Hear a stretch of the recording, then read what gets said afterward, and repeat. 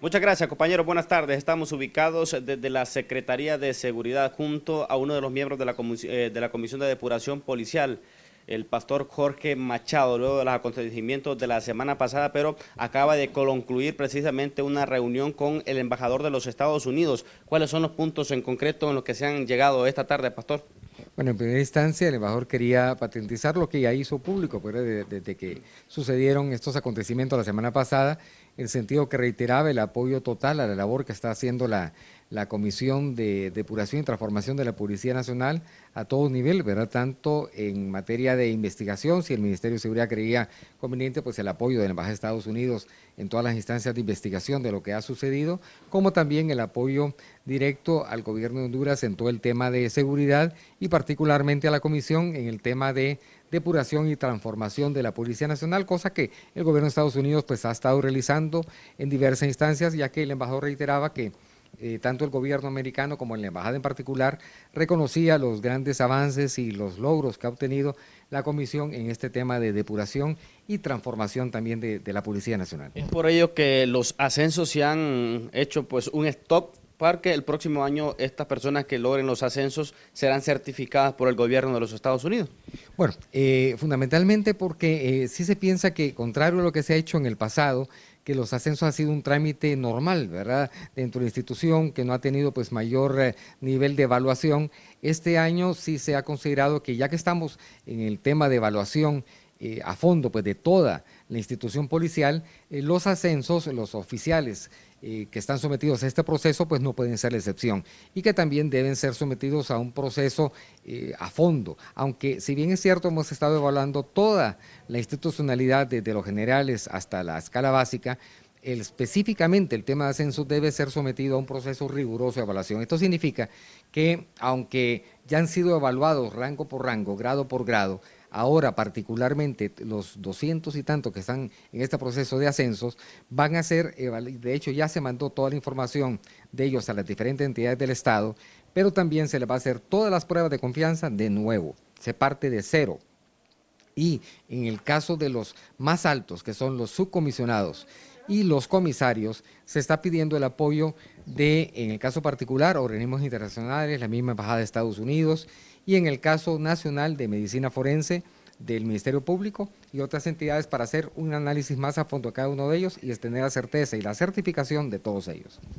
Esta semana debe de ser ratificado en su cargo el actual director de la Policía Nacional, el comisionado general Félix Villanueva. Como miembro de la comisión ya se le dio ese respaldo luego de que el Tribunal Superior de Cuentas anunciara que las investigaciones o por lo menos las indagaciones que se estaban haciendo eh, pues no coinciden y está totalmente limpio y habilitado para una ratificación el actual director de la Policía Nacional. Bueno, es correcto. Sobre él vendían dos temas eh, que estaban... Eh, siendo eh, materia de investigación. Por una parte, el famoso caso eh, que trascendió en varios medios de comunicación sobre el tema de el borrón de algunos archivos, etcétera, que sobre eso inmediatamente se le pidió un informe detallado que lo rindió la semana pasada, bastante amplio, sobre lo que había sucedido al respecto. Y por otra parte, el informe del Tribunal Superior de Cuentas sobre el enriquecimiento ilícito, que ya tenemos informes hasta el momento extraoficiales, falta que lo haga entrega ya formal el tribunal, pero ya se nos ha adelantado que la, situación de él pues está, está limpia en ese sentido. Esperamos que eso se concrete esta semana ya formalmente para poderlo dar a conocer a la opinión pública. Ratificarlo. Ratificarlo, correcto. Sería ratificado entonces esta semana el actual director de la Policía Nacional. Sí, de hecho eh, lo está hasta el momento, no ha sido puesto en duda, solamente estamos esperando que el Tribunal Superior de Cuentas nos entregue ese informe ya de manera oficial y ya tenemos el informe particular que él nos rindió sobre las demás cosas que se han denunciado en contra de él y todo eso se, dará a conocer a la opinión pública en cuanto tengamos ya el informe del tribunal, se daría a conocer públicamente para descartar cualquier indicio de duda sobre su persona. Finalizo, Pastor, con lo que lamentablemente sucedió la semana pasada, donde una persona pues eh, perdió la vida. Ya la Policía Nacional tiene indicios eh, directos de lo que podría ser o los que podrían ser los responsables de este atentado. Bueno, la verdad que han reaccionado muy rápidamente diferentes eh, dependencias, tanto la DPI como la misma ATIC, la inteligencia militar. Hay varias entidades que están haciendo un esfuerzo muy rápido, debemos reconocer, y muy profesional. Tenemos entendido que hay bastantes avances hasta el momento. Se va a hacer un trabajo conjunto, se va a intercambiar esa información.